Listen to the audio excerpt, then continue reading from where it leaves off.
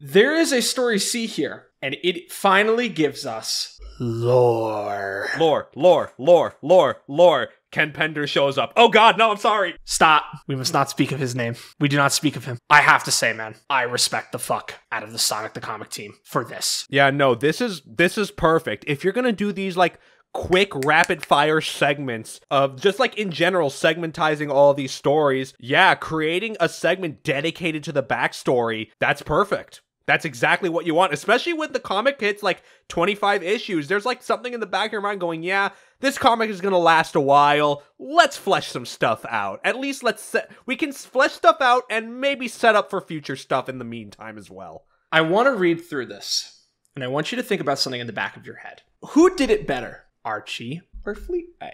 Let's start. A narrator opens on the side of a galaxy. If you travel 117.63222 light years away from Earth, you will find a small galaxy. Except you won't, it's in a parallel universe. Different time zone, whole other region there, completely made of dark matter. But if you were able to get there, this is what you'd see. The beautiful, unsplit world of Mobius. That is, of course, until Dr. Robotnik came on the scene but I'm getting ahead of myself. Mobius is made up of several continents. The continents are divided into areas called zones, such as Green Hill Zone. We're focusing on South Island, particularly the hill zones. Market Day is in one of the Emerald Hill Zone villagers, and eh, you think it's a little boring, a little dull. Forget it. This is the neighborhood of our own Sonic the Hedgehog. Hidden in one of these zones is his secret base. Where though? As I said, it was a secret. As, for and for this guy, had to get to him sooner or later. Old rotten egg breath himself, Dr. Robotnik. After a few setbacks, Robotnik had set up base in an alternate dimension known as the Special Zone. From here, he rules Mobius and coordinates his operations, sending out badniks into the Starlight Zone. Robotnik has minions running his more important zones, such as the Marxio brothers in charge of Casino Night. Uh, they do take offense to being called minions, but uh, nonetheless. Orbiting Mobius is the Miracle Planet, so to some as the Little Planet. This beautiful place is completely unspoiled and apparently uninhabited. Apparently.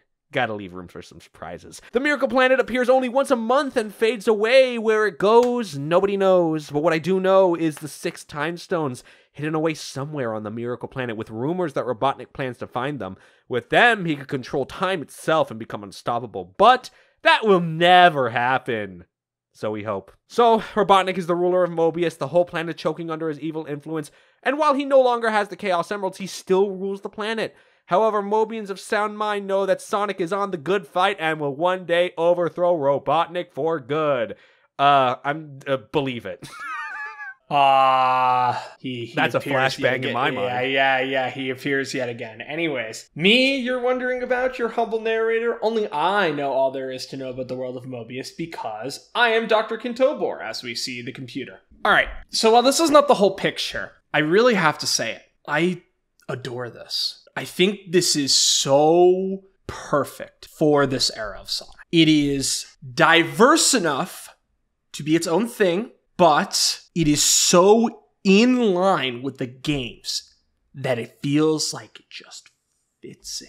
Yeah, you know, especially in this era. We're talking like 1992, 1993 era Sonic. Like, this is kind of it.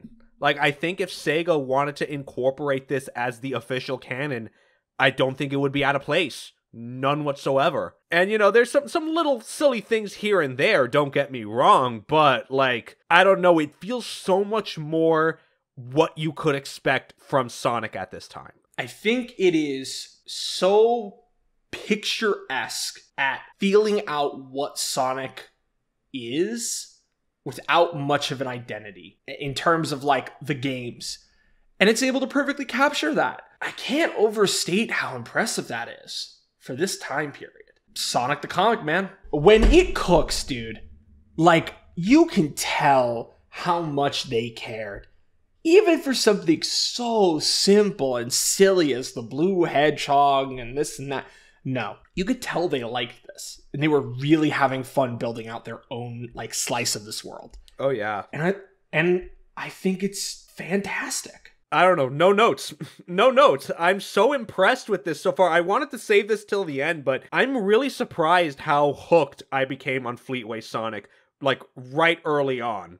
You know, I figured that, like, oh, you know, there's going to get some real interesting stuff later on, and I know that's going to come.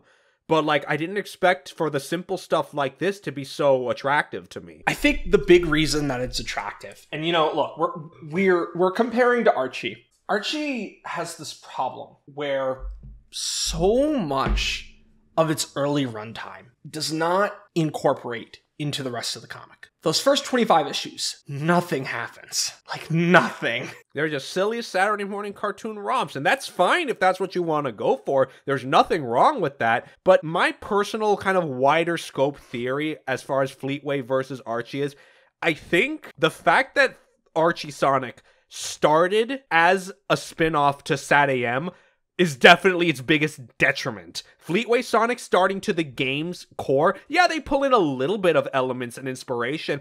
Not even elements, inspiration mostly from Sat AM. That's that's kind of your best case scenario if that's the that's the direction you want to take this comic in. I mean, look, and you know, like I, again, we're trying to keep mention of it to like a quote unquote minimum, but like I also think the the beauty of it is that when they're creating lore and ideas, they are really trying to make this fit with the world. I think a really big problem that Archie had for a very long time is that its world and lore was being shoehorned into a Sonic comic. Mhm. And it never felt quite right. There were times it did, but a lot of the time, no, not at all. Yeah, could you imagine elements from the games being introduced to the comic only to be like effectively it was forced in and had to be worked around. That is a massive problem that early Archie contended with. Meanwhile, Fleetway